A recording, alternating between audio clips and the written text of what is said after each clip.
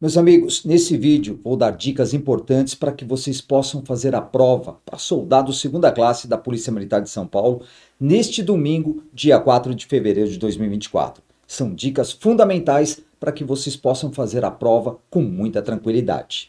E a primeira coisa é verificar no Diário Oficial onde você irá fazer a prova.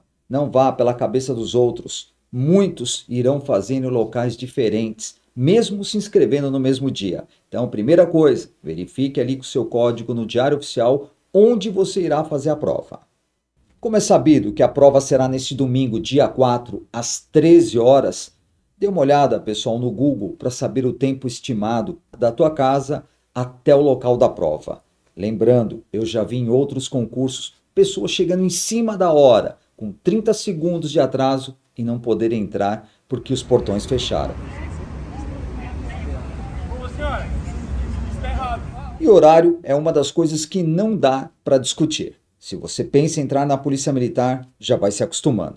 E quando os portões se fecham, existe até um termo de fechamento dos portões, onde duas pessoas têm que assinar como testemunhas que fechou naquele exato horário.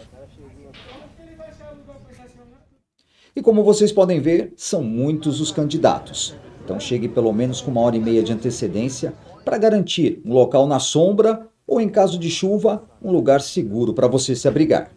E neste dia, a prova será realizada em duas etapas. A primeira, a prova objetiva, e a segunda parte, a prova dissertativa. E agora vamos saber o que pode e o que não pode ser levado no dia da prova. O que deve ser levado?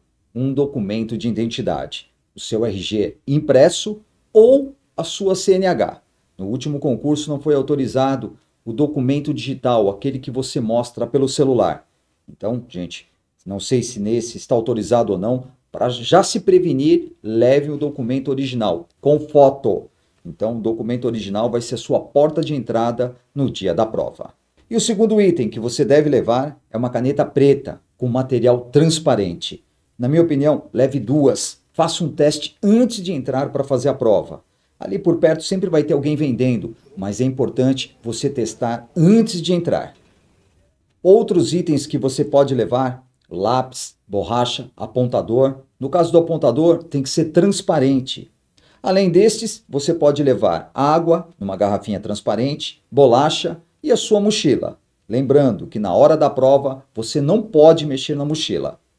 E o seu celular. Antes de entrar, desative os alarmes, desative as notificações e principalmente desligue o celular, porque se ele tocar durante a prova, você será eliminado, você será reprovado.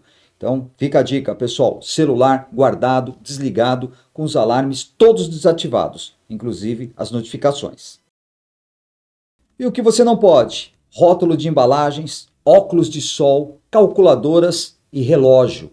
Gente, relógio de qualquer natureza, não pode. Então já sabe, levou o relógio sem querer, pô, eu estava viajando, já enfia na mochila, porque você não pode utilizar relógio, em hipótese alguma. E agora, já dentro da sala, deram início à prova, só que você não pode sair antes das duas horas do início da prova, sob pena de ser eliminado. Então dá uma revisada, dá uma olhada naquelas questões que você ficou em dúvida antes de passar para o gabarito. Porque se você sair antes das duas horas de prova, com certeza você será reprovado. E agora, com todas essas dicas importantes, desejo a você que vai fazer a prova muita sorte nesta fase e nas outras até a sua formatura.